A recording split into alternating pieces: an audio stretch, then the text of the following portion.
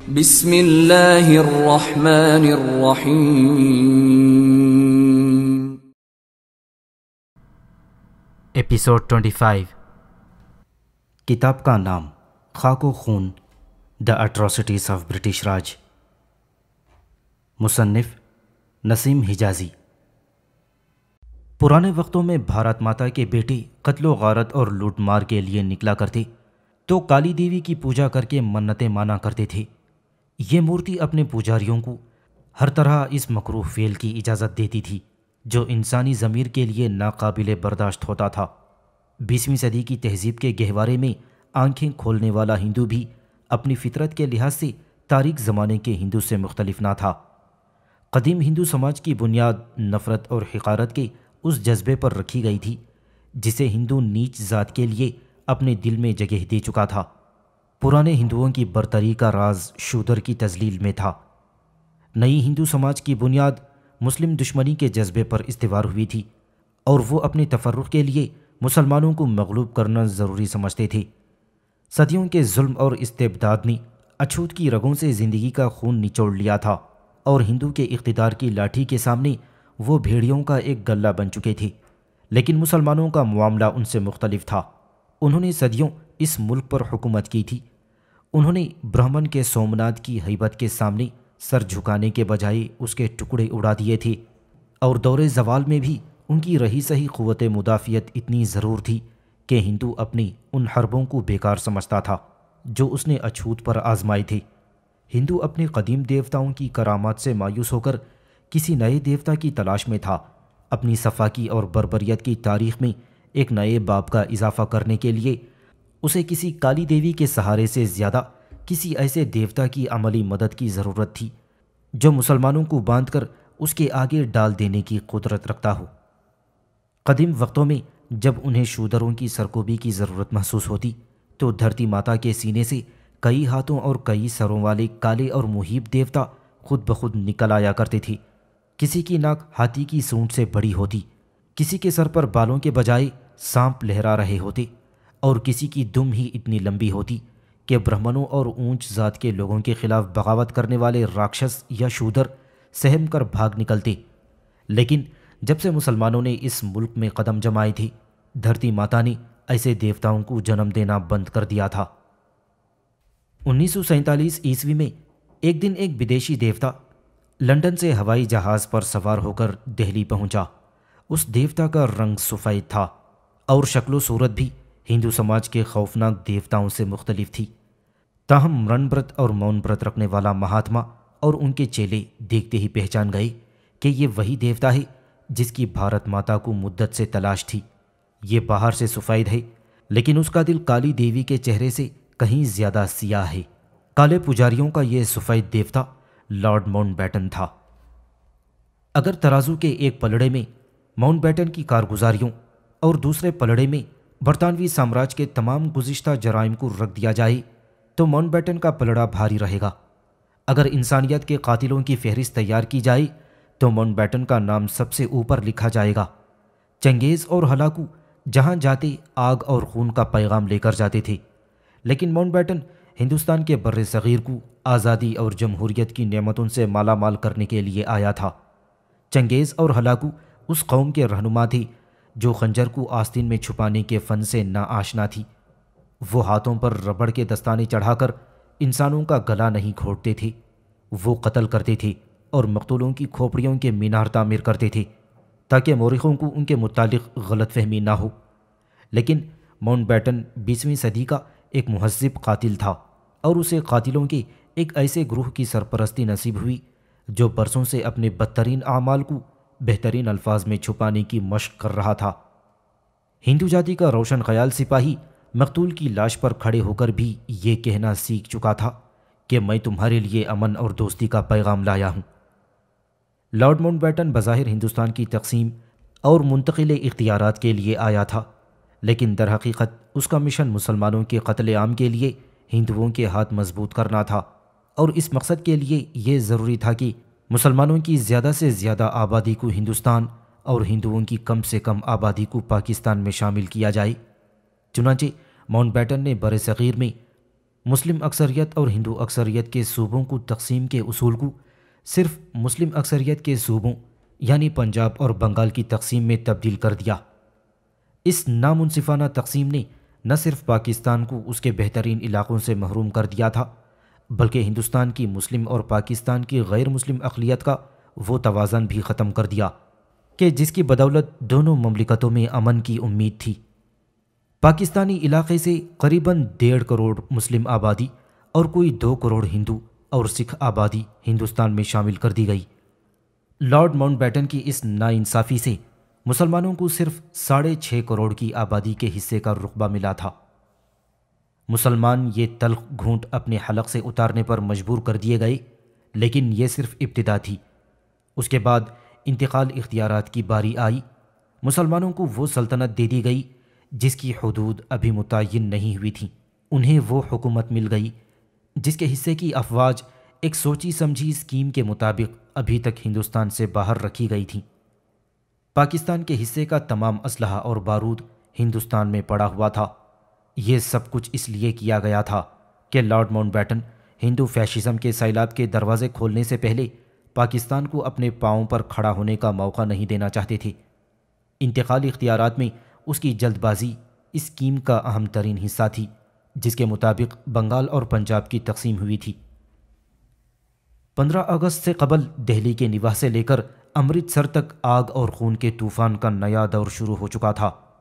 15 अगस्त से कबल पटियाला, नाभ, कपूरथला, भरतपुर और अल्लूर की अफवाज मशरक़ी पंजाब में पहुँच चुकी थीं। और राष्ट्रीय सेवक संघ के गुरु हिंदू रियासतों से असलहा और बारूद हासिल करके पंजाब का रुख कर रहे थे और हुकूमत मशरक़ी पंजाब की मुसलमान पुलिस को गैर मुसल्ह कर रही थी। अमृतसर में मुसलमान कांस्टेबलों को गैर मुसल्ह करके उन पर गोलियों की बाढ़ मारने के बाद मशरक़ी पंजाब के हुकाम ये वाजह कर चुके थे कि वो किस किस्म का अमन कायम करेंगे।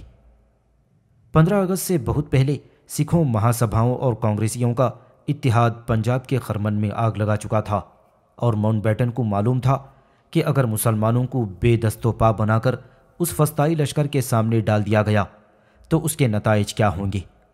पंद्रह अगस्त से पहले अगर पाकिस्तान को उसके हिस्से की अफवाज और असलाह के ज़ख़ायर मिल जाती तो ये मुमकिन न था कि पंजाब में सिख, डोगरा और घोरका अफवाज के हाथों मुसलमानों के कत्लेआम को रोकने के लिए पाकिस्तान की आवाज़ इस कदर बेअसर साबित होती। ये मुमकिन ना था कि राष्ट्रीय सेवक संघ के भेड़िए और हिंदू और सिख रियासतों के सिपाही मशरक़ी पंजाब में मुसलमानों के खून से होली खेलते और पाकिस्तान के मुसलमान सिर्फ़ बेचारगी के आँसू बहाकर खामोश हो जाते। लेकिन लॉर्ड माउंटबैटन हिंदुस्तान में वहशत और बरबरीत के जिस सैलाब के दरवाजे खोलना चाहता था, उसके रास्ते की तमाम दिक्कतें और रुकावटें भी दूर करना ज़रूरी समझता था। बाज़ लोग शायद ये कहें कि अगर माउंटबैटन इस हद तक मुसलमानों का दुश्मन था तो उसे मुसलमानों को लूला लंगड़ा पाकिस्तान देने की ज़रूरत भी क्या थी? इस सवाल का सही जवाब हमें लिबरल वजारत के तर्ज अमल से मिलता है। लिबरल वजारत हिंदुस्तान की सियासी जंग में एक फ़रीक के बजाय एक सालिस की हैसियत इख्तियार कर चुकी थी और सालिस की हैसियत में वो हिंदू को ज़्यादा से ज़्यादा देकर खुश करना चाहती थी। हिंदू सारा हिंदुस्तान माँगता था, लेकिन अंग्रेज़ अपनी तरफ़ से दस करोड़ मुसलमानों को मगलूब करके हिंदू के आगे डालने के लिए तैयार ना था। इस सूरत में सालिस के बजाय हिंदू के साथ शामिल होकर एक फरीक की हैसियत इख्तियार करना पड़ती थी। लॉर्ड माउंट बैटन ने मुसलमानों के सामने पाकिस्तान की वो सूरत पेश कर दी, जो उनके वहमो गुमान में भी ना थी और उनके साथ ही हिंदू को खुश करने के लिए उसे तमाम उन लवाजमात से मुसल्ह कर दिया गया, जिसे वो पाकिस्तान को नीस्तो नाबूद करने के लिए काफ़ी समझता था। कायद अज़म असलहा और अफवाज की तकसीम से पहले मुंतकिल इख्तियार के मुखालिफ थे। वो माउंट बैटन को उसके ख़तरनाक नतज से आगाह कर चुके थे, लेकिन उनकी आवाज़ सदाए अजबहर साबित हुई। पंद्रह अगस्त को दिल्ली में हिंदुस्तान की आज़ादी का आफ्ताब तुलू हुआ।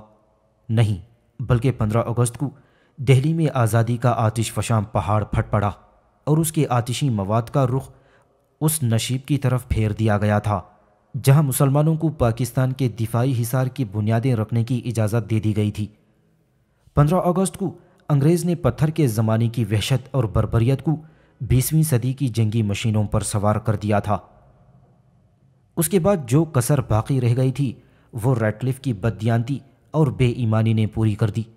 यहाँ भी मुसलमानों को एक अंग्रेज़ की दियानतदारी और नेक नियति पर भरोसा करने की सज़ा मिली।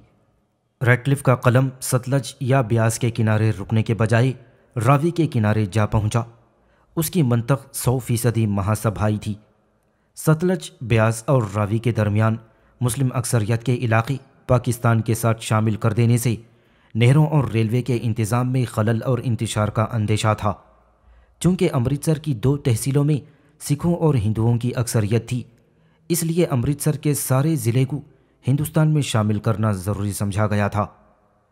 दरिया ब्यास के पार मुस्लिम अक्सरियत की तमाम तहसीलें हिंदुस्तान में शामिल कर दी गईं।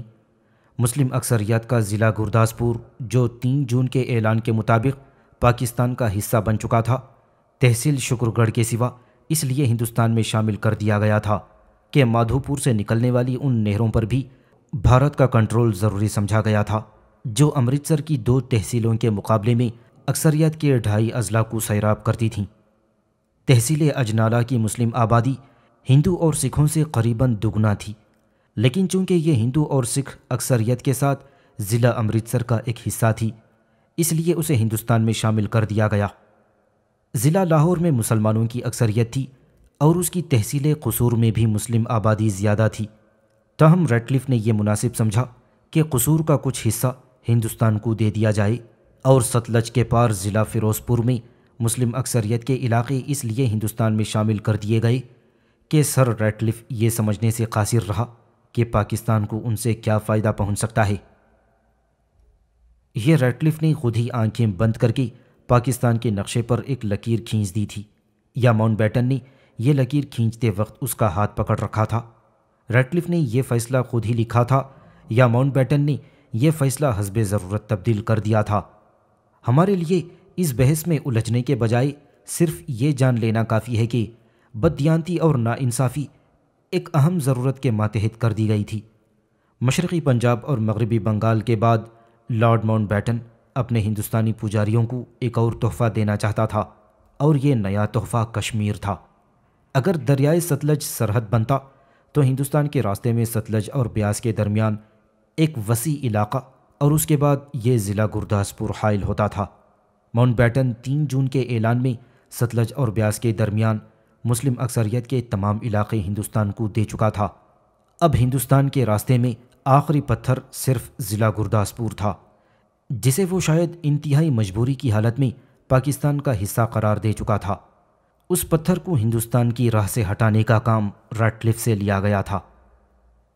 गुरदासपुर के मुतालिक माउंट बैटन की नीयत का इस बात से पता चलता है कि सह जून के बाद उसने प्रेस कॉन्फ्रेंस में कहा था कि यह ज़रूरी नहीं कि कोई ऐसा इलाका जिसमें एक फ़िरक़े की मामूली सी अक्सरियत हो, तमाम का तमाम हिंदुस्तान या पाकिस्तान। तमाम का तमाम इलाका हिंदुस्तान या पाकिस्तान में शामिल कर दिया जाए। तशरीह के लिए लॉर्ड माउंट बैटन ने ज़िला गुरदासपुर की मिसाल पेश करते हुए कहा था कि वहाँ मुसलमानों की अक्सरियत बहुत मामूली है। सवाल यह है कि माउंट बैटन की निगाह सिर्फ़ ज़िला गुरदासपुर पर क्यों पड़ी? अमृतसर, फ़िरोज़पुर, जालंधर और होशियारपुर पर क्यों ना पड़ी? माउंट बैटन के पेश करदा उसूल के मुताबिक भी सिर्फ़ पठानकोट की तहसील हिंदुस्तान में जाती थी, लेकिन उसके बदले पाकिस्तान को दस तहसीलें और मिलती थीं। लेकिन यहाँ किसी उसूल का सवाल नहीं था। यहाँ सिर्फ़ ये मसला था कि हिंदुस्तान का एक कोना हर कीमत पर कश्मीर से मिला दिया जाए। अगर ज़िला गुरदासपुर, तहसील अजनाला और ब्यास के पास ज़िला फ़िरोज़पुर में मुस्लिम अक्सरियत की तमाम तहसीलें हिंदुस्तान के हवाले ना की जाती तो उसके चार नतज होते। एक ये कि सिखों की एक बहुत बड़ी तदाद पाकिस्तान में चली जाती और उन्हें जारिहाना अकदाम की ज़रूरत ना होती। अगर फसाद होता भी तो सतलज और ब्यास के दरमियान अकलीत के इलाकों के मुसलमानों को फ़ौर अपनी अक्सरियत की तहसीलों में पनाह मिल जाती और अगर अमृतसर की दो तहसीलों में सिख कोई ज़्यादती करने का इरादा करते तो उन्हें यह सोचना पड़ता कि तहसील अजनाला और ज़िला गुरदासपुर के सिखों पर इसका क्या असर पड़ेगा। ऐसी तकसीम का दूसरा नतीजा ये होता कि हिंदू फैशिज़म मशरक़ी पंजाब को आग और खून का पैगाम देने के बाद कश्मीर की वादियों का रुख ना करता। तीसरा नतीजा ये होता कि पाकिस्तान इकतसादी और दिफाही लिहाज से ज़्यादा मज़बूत होता और चौथा ये कि मशरक़ी पंजाब की सरजमीन लाखों मुसलमानों के खून से लालाजार ना होती और पाकिस्तान की बुनियादें हिलाने के लिए हिंदुस्तान ज़ख्मी, नंगे और भूखे महाजरीन के काफ़िले भेजने का हरबा आजमाने में अपना फ़ायदा ना देखता। लेकिन ये सब बातें हिंदू पुजारी और उसके अंग्रेज़ देवता की ख्वाहिशात के ख़िलाफ़ होती। चौदह और पंद्रह अगस्त की दरमियानी रात को मुसलमानों के घरों में आज़ादी के नारे और मुसरत के कहकहे गूंज रहे थे। बारह बजकर एक मिनट पर पाकिस्तान और हिंदुस्तान की आज़ाद ममलिकतें वजूद में आ चुकी थीं।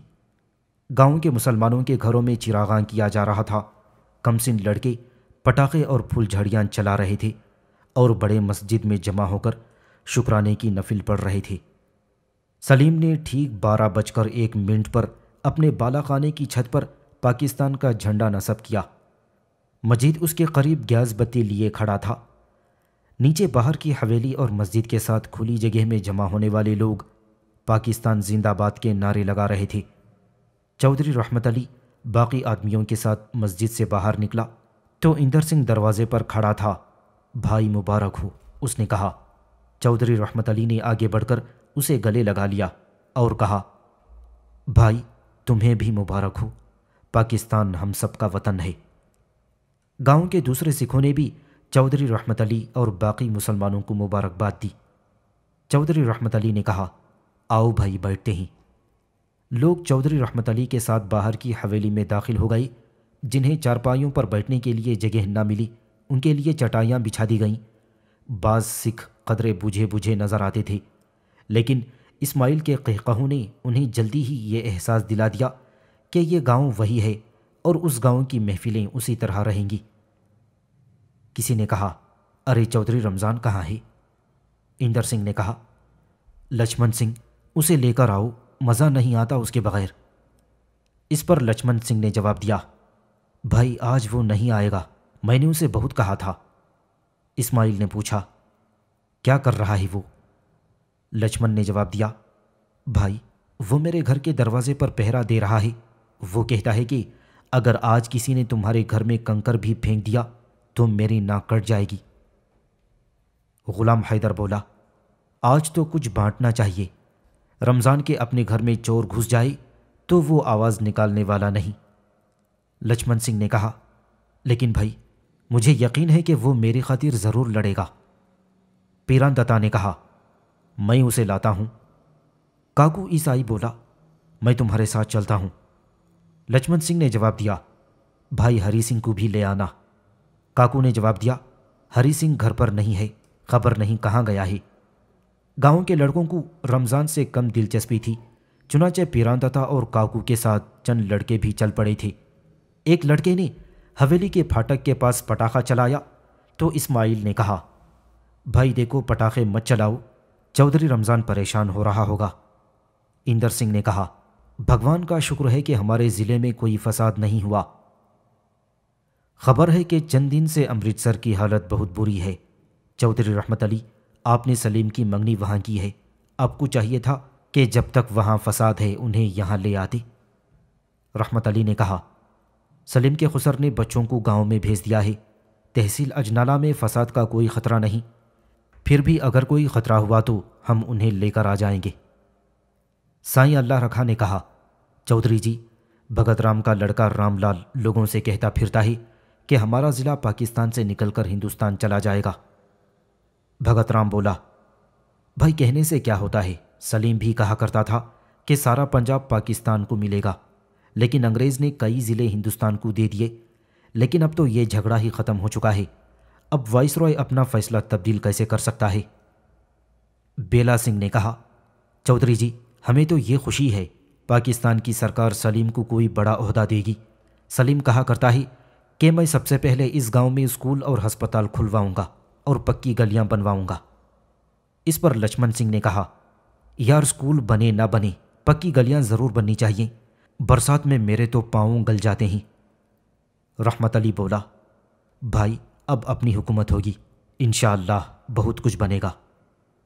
थोड़ी देर में काकू और पीरांदाता चौधरी रमज़ान को ले आए और इस्माइल ने पुराने वक्तों की बातें शुरू कर दी। रमज़ान कह रहा था, यार इस्माइल, दुनिया बदल गई, लेकिन तुम ना बदले। अच्छा भाई, हंस लो, कभी रमज़ान को याद करोगे। इस पर अफजल ने कहा, कहाँ जाने का इरादा है चौधरी? यार, बुढ़ापे में ज़िंदगी का क्या एतबार होता है? इस्माइल ने कहा फ़िक्र मत करो चौधरी। हमारी खबरें एक दूसरे से दूर नहीं होंगी।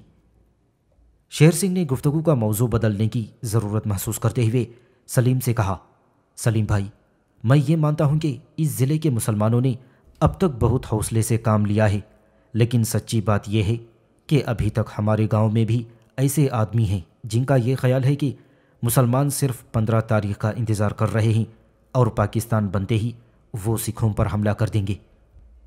इस पर सलीम ने जवाब दिया, चचा, आज रात के बारह बजे तक अमन की ज़िम्मेदारी अंग्रेज़ पर थी, लेकिन अब इस ज़िले के सिखों की हिफाजत की ज़िम्मेदारी पाकिस्तान की हुकूमत पर है और मुसलमान ये समझते हैं कि अगर फसाद हुआ तो पाकिस्तान बदनाम होगा। फिर अब तो आपको ये ख्याल भी नहीं करना चाहिए कि मुसलमान फसाद करेंगे। अगर इस ज़िले के मुसलमानों की नीयत ख़राब होती तो अब तक सिखों के दरवाजे पर पहरे क्यों देते? मैं समझता हूँ कि आज के बाद अगर हिंदुस्तान की हुकूमत ने खुद शरारत ना की तो ज़िला अमृतसर में भी अमन हो जाएगा। शेर सिंह ने कहा, भाई, मुझे क्या तसल्ली देते हो?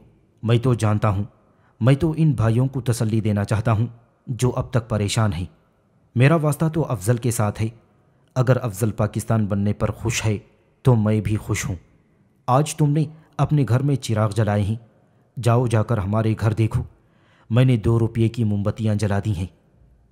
सलीम ने कहा, चचा, आप फ़िक्र न करें, दो चार दिन में सबको इत्मीनान हो जाएगा। सामाइन से गुजारिश की जाती है कि हमारे सारे चैनल्स एलिकेंट अदब एलिकेंट अदब एक्स्ट्रास, स्वाड ऑफ़ हक चैनल और इतिहादुल अंसार चैनल में जिन ऑडियो बुक्स और सीरीज़ को मुकम्मल किया जा चुका है, इन सब का मुतालिया हमारे प्लेलिस्ट सेक्शन से करें।